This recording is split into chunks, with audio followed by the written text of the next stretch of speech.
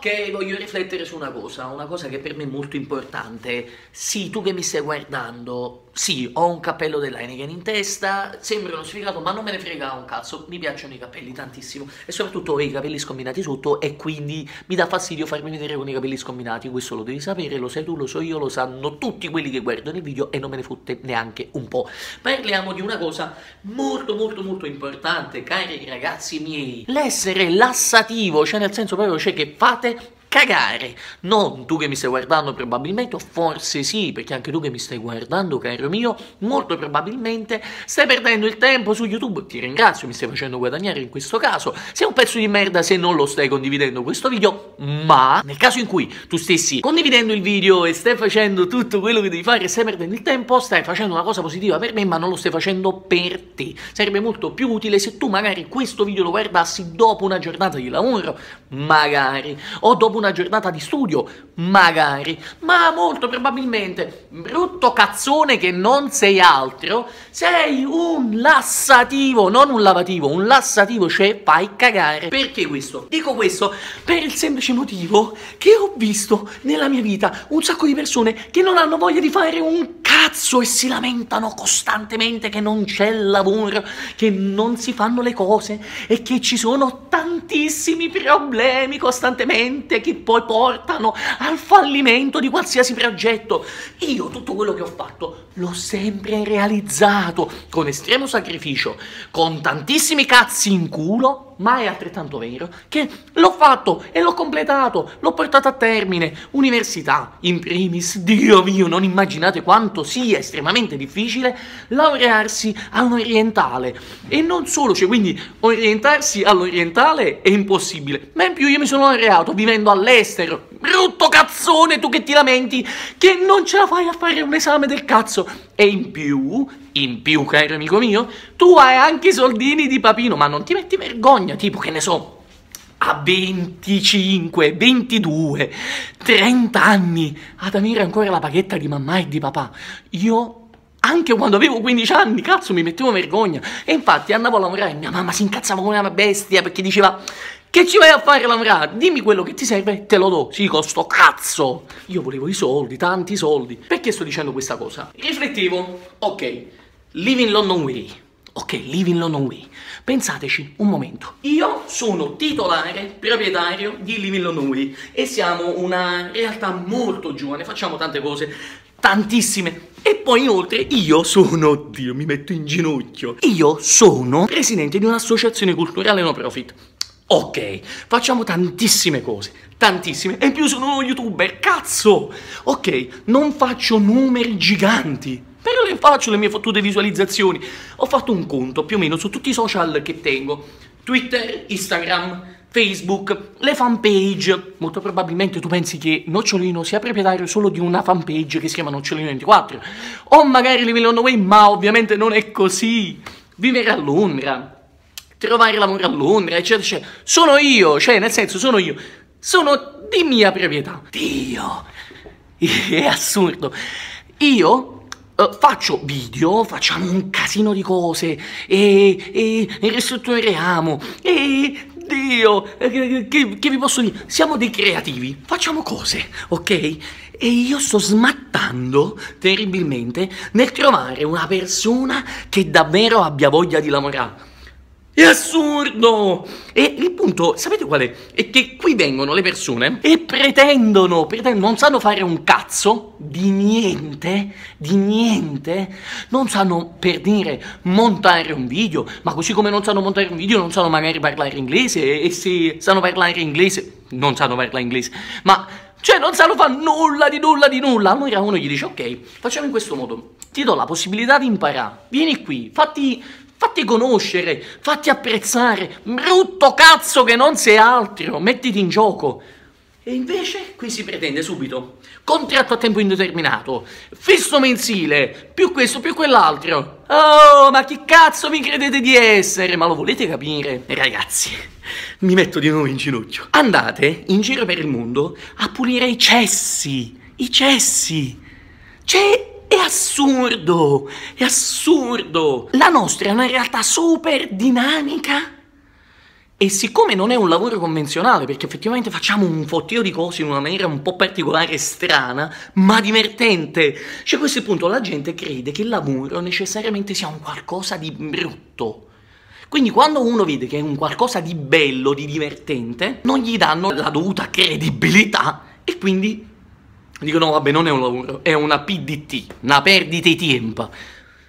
Quanto mi fate tenerezza. Io ci campo e se ci campo io ci campa anche Paradise e prima di Paradise ci campavano anche altre persone. Insomma, siamo arrivati a un punto tra l'altro io e Antonio, Paradise si chiama Antonio, di non volere altre persone a lavorare con noi perché perdono tempo e ci fanno perdere molto più tempo. Molto più tempo. E quindi un giorno Paradise mi dice Antonio, Oh, oh, oh. Io direi che è meglio che siamo solo io e te, ci facciamo il culo come una capanna, però è meglio, almeno non perdiamo il tempo. Gli volevamo da torto? Gli potevo mai dare torto? Adesso abbiamo tre postazioni libere. Tre.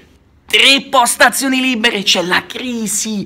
Brutti cazzoni che non siete altro che vi piace solo lamentarvi. Bambocci, bambocci, bambocci. Tre postazioni libere Abbiamo pubblicato che stiamo cercando personale. Nessuno si candida! Ma com'è possibile? Com'è possibile? Guagliù, il discorso è molto semplice, lo dico sempre. K, qui, vedi qui davanti a me, c'è sto Lignam e a K ad Aschiavark. Siamo dei liberi professionisti, cerchiamo di fare le cose e se ci andiamo bene, siamo buono tutto quanto. Invece no, voi vi accontentate del fisso mensile, del misero, miserissimo fisso mensile, magari di 1000 euro al mese, e passa per tutta la vita. Quindi voi trascorrerete la vostra vita nella più totale mediocrità. Oh, che cazzi che siete! Siete dei cazzi allerta. Ah, Dio mio. Ringrazio Dio che mi ha fatto in questo modo? Sarò sbagliatissimo, sono la persona più sbagliata del mondo. Però sono felice di non essere come tutti quanti voi. Ma come sono felice? Niente di meno, uno una volta tempo fa, dopo che un ragazzo che lavorava qui mi ha, diciamo, convinto nel dare la possibilità a uno di mettersi in gioco. Dopo una settimana di proprio come untarlo, dico vabbè, ok, diamogli una possibilità. Questo qua non viene al colloquio di lavoro. Assurdo, assurdo. Poi mi contatta e dice: Senti, ma perché non puoi venire tu? Uh, ci facciamo questo colloquio uh, a portici davanti a una tazza di caffè. Cioè, ovviamente non è mai venuto e non sono mai andato nemmeno io, non gli ho manco mai risposto. Ed è un disoccupato. Continua a non fare un cazzo e continua a farsi le foto con i cocktail in mano. Io sono sconvolto.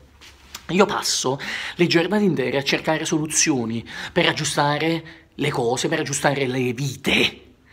La mia di vita, la vita di chi collabora con me, la vita di chi si rivolge all'Ivil London Way e che vuole andare in Inghilterra, agli stranieri che vengono in Italia e che si vogliono godere una, una vacanza e un'esperienza negli alloggi artistici. Cioè, questo, vi faccio un esempio. Ok, vedete questa cosa qui? Ok, questa qui, questa, la vedete? Questa è una scala di campagna e la volevano buttare e io l'ho pitturata tutta e l'ho attaccata vicino al muro. E ci abbiamo fatto tipo una specie di guardaroba, ci azzecchiamo le cose sopra e le cassette. Ok, sono cose banali, lo so, tante persone lo fanno, ma è un esempio. Cazzo, si deve trovare una soluzione. Che cazzo vi lamentate a fare, brutti rincoglioniti che non siete altro? No, eh. Mi avete fatto utilizzare prima un termine che Dio! Però quanto siete bambocci certe volte. Quindi, tu, se tieni le palle, cazzone che non sei altro, e sei un cazzone meno cazzone degli altri, ok? E hai voglia di imparare, e sei una persona puntuale, Dio mio, puntuale, rispettosa del lavoro altrui, perché uno che fa tardi non è rispettoso degli altri colleghi sia una persona che si sa prendere le responsabilità, sia una persona che è risolutiva, che cerca le soluzioni e che non fa perdere tempo e soprattutto che hai tantissima voglia di imparare, cazzo, fatti vivo! Ne siamo pochi, ne siamo rimasti pochi in Italia, in effetti, che vogliono fare queste cose, cioè... risolvere le situazioni negative, trovare soluzioni e soprattutto riuscirci. Dio! Quindi se ti va di collaborare con delle persone creative che azzeccano il cervello terribilmente, fatti vivo e magari ne parliamo. Ti prego, se sei uno psicopatico, se sei una persona che proprio non te un cazzo fa e che pensa che poi solo si diverte, cioè noi ci divertiamo, ma lavoriamo terribilmente, cioè facciamo un culo così, eh?